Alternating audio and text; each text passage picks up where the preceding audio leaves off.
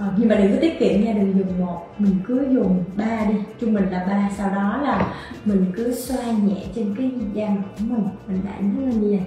Mình cứ xoa nhẹ mình cứ rửa trên cái làn da của mình. Thì tất cả đều là bằng thiên nhiên hết bằng những cái thảo mộc. Cho nên là mình không có sợ là cái da của mình nó bị khô ráp hay là nó bị nói chung là nó bị rít hoặc là làm cho mình bị khó chịu hoặc là da ai nhạy cảm thì sẽ bị ngứa nè rồi nhận những cái chấm đỏ đỏ thì hoàn toàn chuyện đó không bao giờ xảy ra Gel rửa mặt này cũng chiết xuất từ các thành phần thiên nhiên như là chiết xuất ô liu nè, chiết xuất rau diếp cá, chiết xuất cây hàm ếch, ngải lá kim, chiết xuất rong biển. Đặc biệt là gel rửa mặt này còn được chiết xuất từ tế bào gốc nhân sâm đỏ nha mọi người.